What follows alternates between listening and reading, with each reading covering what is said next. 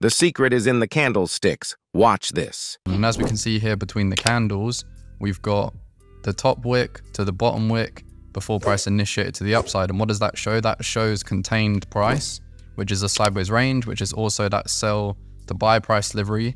So when price comes back here again in the future, this is where we can trade that intention in the market again. I don't necessarily always pick out the reaction points within price. Sometimes I wait for price to get there I don't need to predict every single reaction point. I can see every single range. I can see every single order block in the market. I know what they look like. I know their representations. So I don't bother with marking them all up on the charts. What I do is I wait for price to get there. I wait for it to react and then I can trade with the intention being shown on the lower time frames.